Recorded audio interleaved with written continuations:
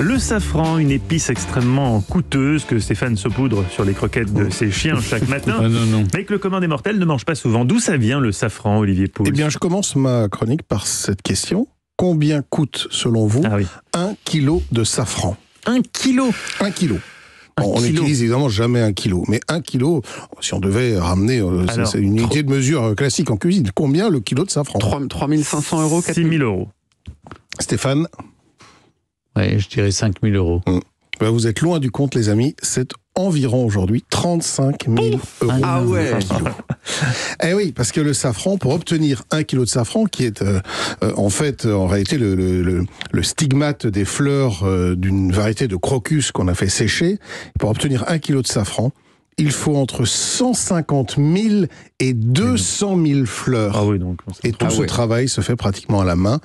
Donc vous imaginez bien que c'est absolument colossal. Mais rassurez-vous, pour faire une recette à base de safran, On a besoin de il combien en faut, bah, il en faut même- pas un gramme. Enfin, c'est c'est Ah c'est oui.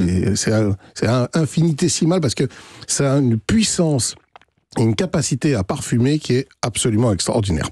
Alors l'histoire du safran, elle est vraiment intéressante, elle est euh, même passionnante puisque c'est une épice qui est consommée par les hommes depuis au moins 3500 ans et selon les dernières études euh, botaniques, parce qu'il y a eu plusieurs euh, théories, le safran serait bien originaire de Crète et euh, des fresques qui datent de 1500 ans avant Jésus-Christ montrent la récolte du safran en Grèce. Et dans la civilisation grecque, le safran a une importance très importante comme plante médicinale, comme épice, mais aussi un petit peu en matière de cuisine. On sait qu'elle était présente dans de nombreux pays méditerranéens, dont l'Égypte. Elle a même son propre hiéroglyphe, c'est-à-dire que là aussi le, le safran était quelque chose de très important. Et puis euh, les Romains vont cultiver donc ces, ces, ces variétés de crocus un petit peu partout en développant leurs colonies, et notamment en France, puisqu'il n'y avait pas de raison, le climat euh, permettait largement de, de cultiver le crocus et donc d'avoir du, du, du safran. À la chute de l'Empire romain, sans qu'on sache vraiment pourquoi le safran va pratiquement disparaître, il sera réintroduit chez nous un peu plus tard avec les retours des croisés, qui sont donc partis au Moyen-Orient, où là, le safran était resté très populaire. Mais Ils attendez, vont la ramener ici. populaire, mais ça a toujours été quand même un produit de luxe. Ça a parce que toujours ça a toujours été- été compliqué à faire. Exactement, ça a toujours été un produit réservé exclusivement, euh, on va dire, aux gens qui en avaient les moyens. Et puis, euh, à ce moment-là, on va le planter dans de nombreuses régions françaises, comme le Périgord, le Quercy, le Vaucluse, le, le Vaucluse ou même l'Orléanais. Et pendant 500 ans, la France va devenir un producteur majeur de safran dans le monde, avec un vrai savoir-faire et avec euh, le safran, pas qui se démocratise, parce qu'une fois encore, ça reste quelque chose de luxueux et de cher, mais presque plus accessible. Et puis, la Révolution française et une série d'hivers assez rigoureux au 19e siècle mettent un coup d'arrêt à cette production qui, après la Première Guerre mondiale, a totalement disparu. On passe de euh, plusieurs centaines de, de- de- de kilos de safran produits en France à zéro. Et depuis maintenant quelques années, on a replanté des crocus, on refait du safran français dans un certain nombre euh, de régions, notamment en Bourgogne par exemple, mais la production française n'atteint qu'une dizaine de kilos, donc pratiquement tout le safran que vous mangez aujourd'hui Mhm. euh, est un safran qui est importé, notamment d'Asie.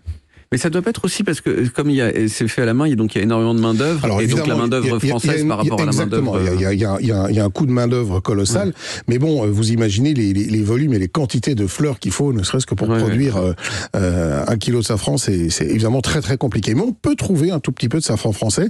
Et moi, je vous offre une recette assez facile de risotto au safran, parce que ça marche très très bien ensemble. Le safran, qui évidemment est notamment un plat utilisé dans la paella, hein. il y a de, de nombreux plats, on l'utilise en salé, en sucré. Moi, j'aime bien le mettre dans le risotto parce qu'il en faut vraiment très très peu. Et ça parfume très bien. Donc c'est du riz à risotto, hein, du riz carnaroli, euh, 100 grammes, 600 grammes de bouillon euh, de, de volaille ou de légumes, du beurre, un oignon émincé, un petit verre de vin blanc, du parmesan et une pincée de safran. Et puis pour le risotto, vous connaissez maintenant le principe, je vous l'ai expliqué, je pense, euh, déjà quelques fois. On démarre avec l'oignon émincé dans un petit peu de beurre, on rajoute le riz, on laisse remuer, on remue, on laisse cuire un tout petit peu le temps que le riz devienne translucide. On déglace avec le vin blanc, on mouille avec le bouillon progressivement au fur et à mesure qu'il absorbe en remuant assez peu. 21 minutes de cuisson, on retire du feu, on arrête la cuisson avec du beurre froid, on rajoute le parmesan et le safran. Et puis voilà, vous avez un risotto au safran délicieusement parfumé, je vous dis, avec un gramme. Bon, c'est Donc ça là, on a besoin d'une plaquette de beurre, d'un oignon, Non, du euh, riz ça- carnaroli cinquante- et 1 50 gramme. 50 grammes de beurre, ça, ça suffira. Ça, c'est Mais, c'est économique comme c'est- recette. Oui, mais en fait, le, le safran ramené au kilo, c'est extrêmement spectaculaire. Mais, Mais je vous sinon, dis, voilà. on en mange, on en mange un gramme, deux grammes. euh, C'est, ça reste. C'est le bout du monde, vous voyez. Bien sûr. Eh bien, Mm. merci Olivier pour cette bonne recette économique avec un peu de safran. On peut retrouver toutes ces recettes sur le site europe1.fr.